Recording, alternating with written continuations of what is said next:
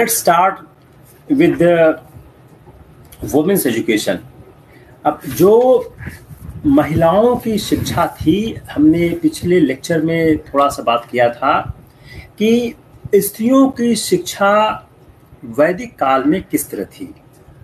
तो जो स्त्रियों की शिक्षा थी, वह वैदिक काल के दोनों समय में, ऋग्वेद में भी और उत्तर वैदिक काल में भी।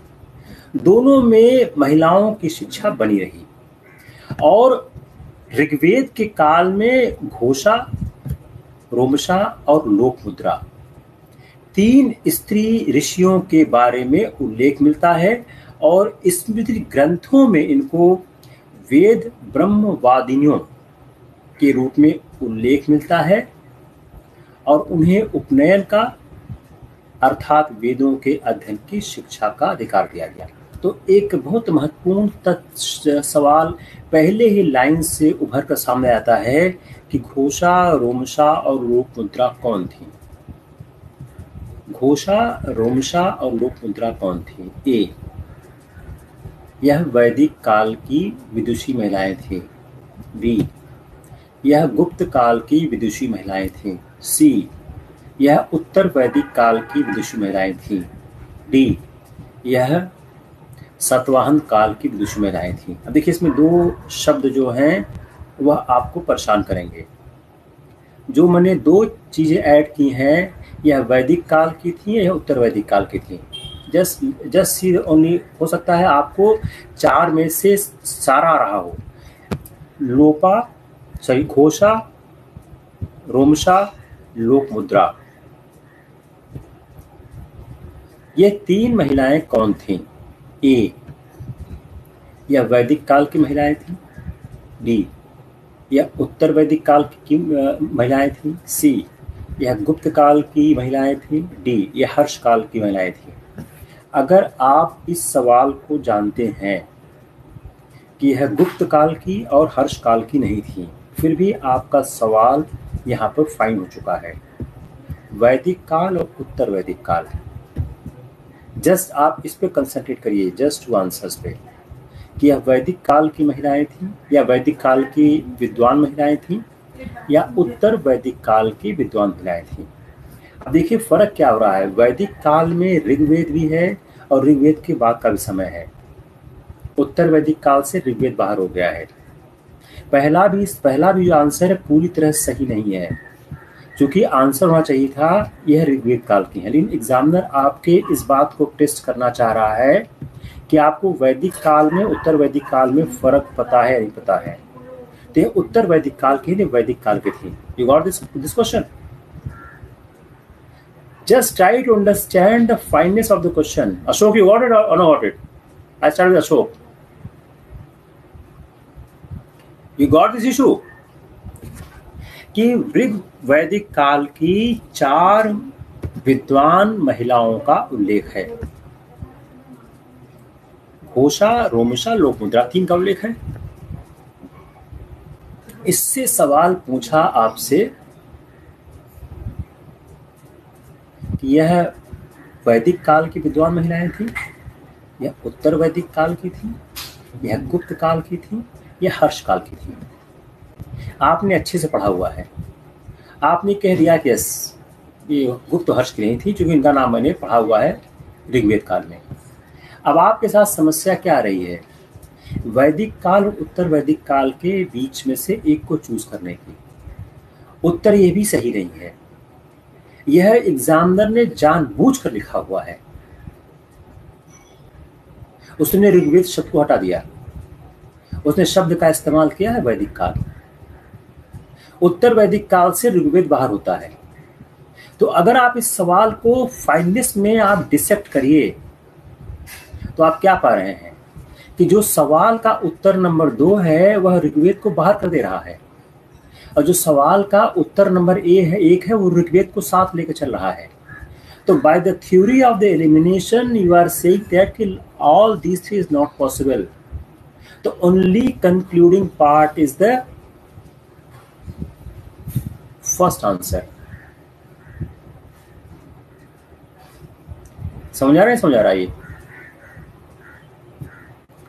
दूसरा क्या है? इनको कहा क्या जाता था? इनको ब्रह्मवादिनियों के रूप में उल्लेख किया गया अगला सवाल क्या बन गया? वैदिक काल में ब्रह्मवादिनी किसको कहते थे? और उन्हों, इन्हों, उन्हें वेदों के अध्ययन और उपनयन संस्कार का अधिकार था। अगला सवाल बना दीजिए आप। वैदिक काल की महिलाओं के बारे में क्या क्या तथ्य सही है? ए घोषा, रोमसा और लोक मुद्रा ऐसी विद्वान महिलाएँ वैदिक काल में ऋग्वेद में दोनों शब्द इस्तेमाल कर सकते हैं। Depend on the on examiner प्राप्त होता है। उन्हें ब्रह्म वेदिन कहा गया। सी उन्हें वेद के अध्ययन उन्हें उन्हें उन्हें उन्हें उप, उपनयन का अधिकार था और वेद के अध्ययन की दीक्षा पाने का अधिकार था। अब एक जो आम हमारी समझ है महिलाओं के बारे में वो अलग टाइप की है अगर हम ठीक से हम इतिहास को न पढ़ें। एक समझ हमारे अंदर विकसित की हुई है शायद बहुत गलत भी नहीं है वो, कि महिलाओं को शिक्षा का अधिकार नहीं था। लेकिन जो ऋग्वेद का समय था, वो अलग था। वहाँ पर महिलाओं का अधिकार था और परवर्ती काल में महिलाओं के अधिकारों में कटौती हुई है। और उस समय दो तरह की महिलाओं के बारे में हमको जानकारी मिलती है। यह जो तीन महिलाएँ थी, जिनको ब्रह्मवादिनी कहा गया। साथ साथ जो दो महिलाएँ थी, गार्गी और मैत्रेयी। यह गंभीर दार्शनिक समस्याओं पर चिंतन चिंतन करती थी। अब लोपा, घोषा घोषा घोषा, रोमशा लोक मुद्रा और गार्गी और मैत्री में फ़र्क करने की कोशिश करिए आप। गार्गी और मैत्री इन तीनों से एक स्टेप ऊपर थी। जो घोषा, रोमशा और लोपा मुद्रा थी, इनसे एक स्टेप ऊपर थी गार्गी और मैत्रेयी, जो दार्शनिक समस्याओं पर चिंतन करती थी। अगर इस सवाल को क्वेश्चन में डाल दिया जाए, जिसमें घोषा, रोमशा लोपा मुद्रा और गार्गी और मैत्री के बीच को फ़र्क कर दिया जाए तो सवाल गया काम से। इसका दूसरा अर्थ ये, जिसका दूसरा सवाल ही बन सकता है कि घोषा, रोमशा, लोक मुद्रा, ब्रह्मवादिनी थी और गार्गी और मैत्रेयी दार्शनिक चिंतन करती थी। लेकिन यह जो दार्शनिक चिंतन की परंपरा थी, वह परवर्ती कालों में हतोत्साहित की गई यहाँ से ऋग्वेद के काल में और उत्तर वैदिक काल में फ़र्क दिखने लगता है कि जो ऋग्वेद के समय में महिलाओं को शिक्षा का अधिकार था, वह उत्तर वैदिक काल में नहीं मिल रहा था। और हमको इस बात का भी प्रमाण मिलता है, जो कि हमने ग्रुप सूत्रों में यह प्रमाण प्राप्त किया है कि पति के साथ पत्नियाँ वैदिक मंत्रों का उच्चारण करती थी। अगेन इसी लाइन को फाइननेस करते हैं फॉर एग्ज़ाम पर्पस पति के साथ पत्नी का यज्ञ में बैठना और पति के साथ पत्नी का मंत्र का उच्चारण करना, दो तो अलग अलग चीज़ें हो गई हैं। जस्ट आई अंडरस्टैंड पति के साथ पत्नी का यज्ञ में बैठना और पति के साथ पत्नी का वैदिक मंत्रों का उच्चारण करना। दोनों एक चीज़ नहीं है। जो दूसरी चीज़ है, जिसमें पति के साथ पत्नी, जो पति के साथ पत्नी वैदिक मंत्रों का उच्चारण करती है, यह पत्नी की शिक्षा का द्योतक है। मैं कुछ नहीं कर रहा हूँ, मैं उसी लाइन को तोड़ने की कोशिश कर रहा हूँ। I am not doing anything words और आई एम रीडिंग यह जो एडवांस कल्चर की बुक्स है, सब में लिखा हुआ है। आप चाहे जिस एडवांस कल्चर में पढ़िए सब में आपको भी मिल जाएगा। लेकिन उसको फिर डिसेक्ट कैसे किया जाए? तो जो दूसरी एक चीज़ आती है कि पति के साथ पत्नी मंत्रों का उच्चारण करती थी, इससे यह दिखता है कि वह काफ़ी शिक्षित होती थी और यज्ञों में भाग ले सकती थी।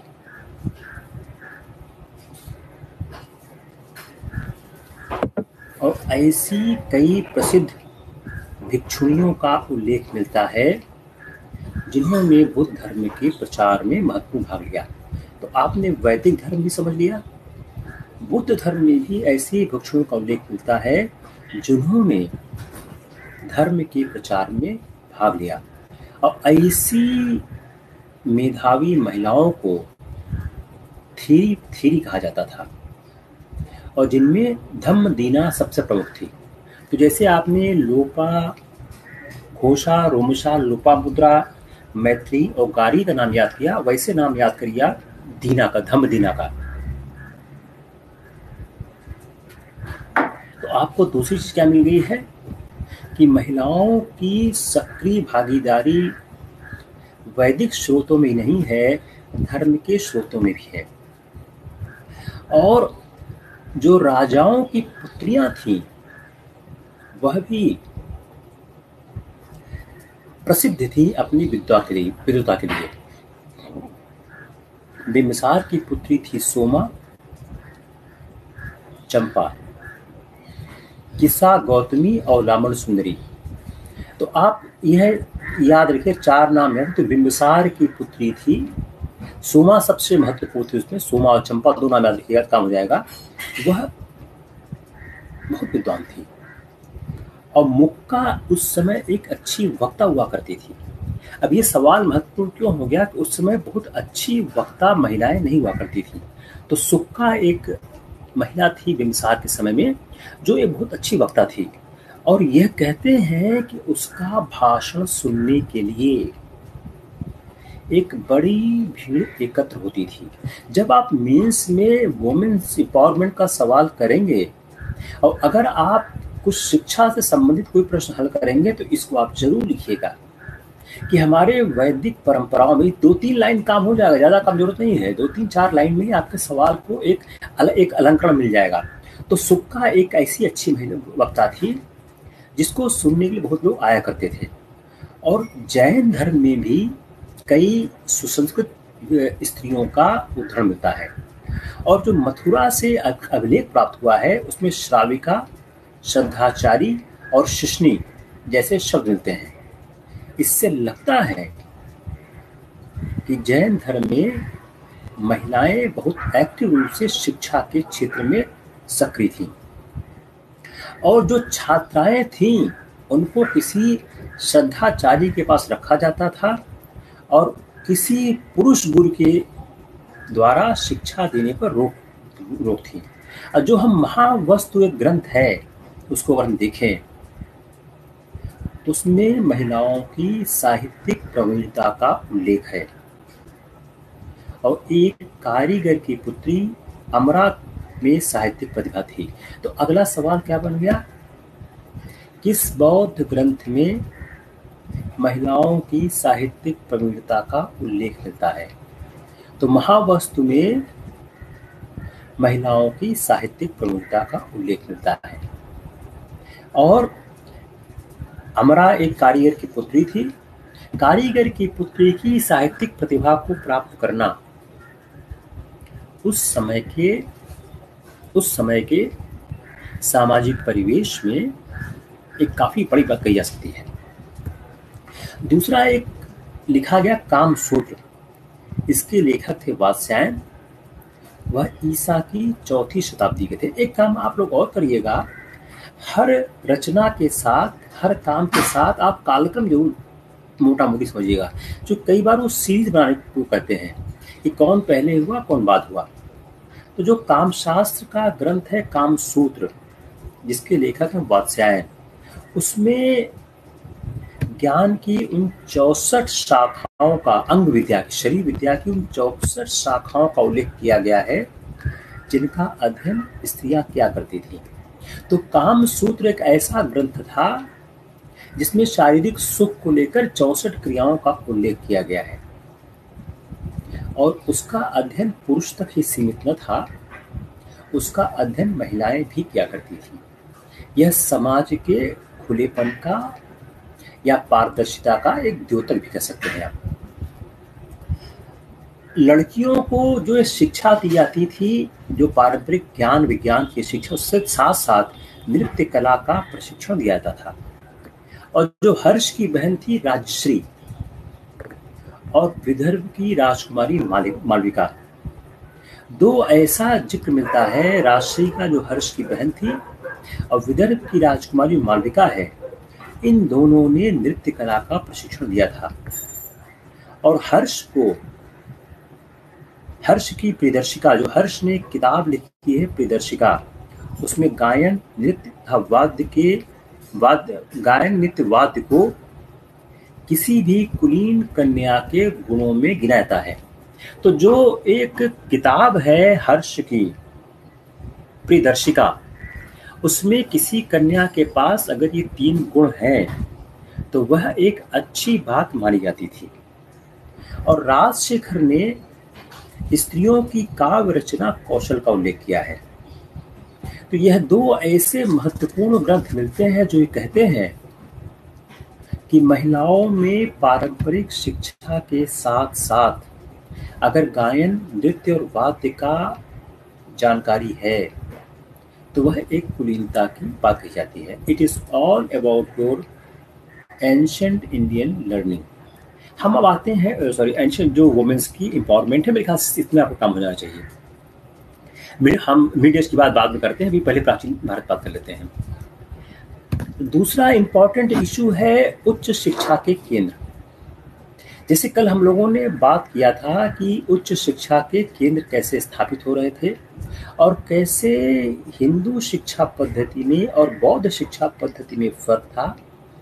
जहाँ बौद्ध शिक्षा पद्धति में संस्थानों की स्थापना हो रही थी, वहाँ पर हिंदू शिक्षा पद्धति में, ब्राह्मण शिक्षा पद्धति में गुरु का जो आश्रम था, गुरु का जो आश्रम था, वह मेनली एक घर हुआ करता था।